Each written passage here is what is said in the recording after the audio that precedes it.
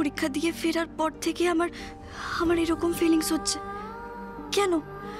কেন আমার বারবার দীপুবাবুর কথা মনে পড়ছে? কেন? কি সম্পর্ক আমাদের মধ্যে? কি নাম আমাদের সম্পর্কের? আর নাম থাকলেই বা কি? আমার আর দীপুবাবুর সম্পর্কের তো কোনো পরিণতি নেই। তাহলে তাহলে আমি এসব ভাবছি কেন? আমি তো এটুকুও জানি না। আদৌ দীপুবাবুর মনে আমার জন্য কোনো অনুভূতি আছে কিনা? দীপুবাবু তো নিজে মুখে কখনো কিছুই বলেননি। অবশ্য উনি মুখে কিছু না বললেও ওনার চোখ দুটো যে সব কথা বলে দিয়েছে। ওনার মনে আমার জন্য যে অনুভূতি, আমার জন্য যত্ন, আমার জন্য ভাবনা, সব ওনার চোখে ফুটে ওঠে বারবার।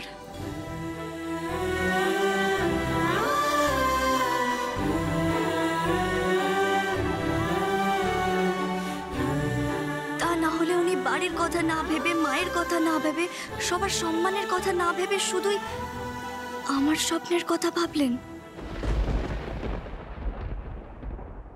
আমায় পরীক্ষা দিতে নিয়ে গেলেন?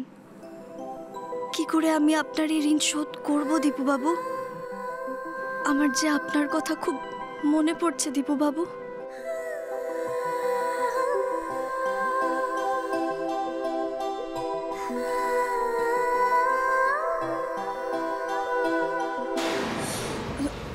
আমি কিন্তু রাতে খাব না। খিদে নেই আমার। ও, ছোটদা ভাই, তুই কিছু বলবি? খিদে নেই নাকি খাবি না?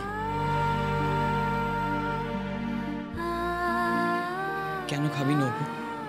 কি হয়েছে? কি হয়েছে আমাকে বল? কাকে কষ্ট দিচ্ছিস? কেনই বা দিচ্ছিস? আচ্ছা আমরা বাড়ির কেউ তো তোকে কিচ্ছু বলিনি। কেউ তোকে বকাঝকাও করেনি।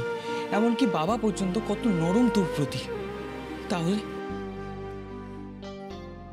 আমি ঠিক আছি ছোটদা ভাই। আসলে দিদি ভাইয়ের জন্য খুব খারাপ লাগছে রে। আমার জন্য দিদি ভাই এই বাড়ির সাথে আর যোগাযোগ রাখতে পারবে না। সুপু লুকিয়ে ফোন করেছিল। তাই? কি বলল রে? ও বলল সামনে নাকি দীপুর বিয়ে। আগামী সাত দিনের মধ্যে। সুপু বলল ওরা আদৌ আমাদের নেমন্তন্ন করবে কিনা সন্দেহ। ওরা বোধহয় আমাদের আর সহ্য করতে পারছে না। তুই জানিস না অপু দীপুর মা আমাদেরকে কীভাবে অপমান করেছে? অবশ্য আমি আর দাদা মিলেও দু চার কথা শুনিয়ে দিয়েছি। দীপুবাবুর বিয়ে? হ্যাঁ বিয়ে তো আগেই ঠিক হয়েছিল। ওই কলকাতার বড়লোক দত্ত পরিবারের মেয়ের সঙ্গে। শুধু দিনটাই একটু এগিয়ে এসেছে এই আর কি। যাকে অনেক রাত হয়েছে। চল এখন খেয়ে নিবি চল। আসছি। তাড়াতাড়ি আয়। সুপু লুকিয়ে ফোন করেছিল। ও বলল সামনে নাকি টিপুর বিয়ে। বিয়ে। আগামী সাত দিনের মধ্যে।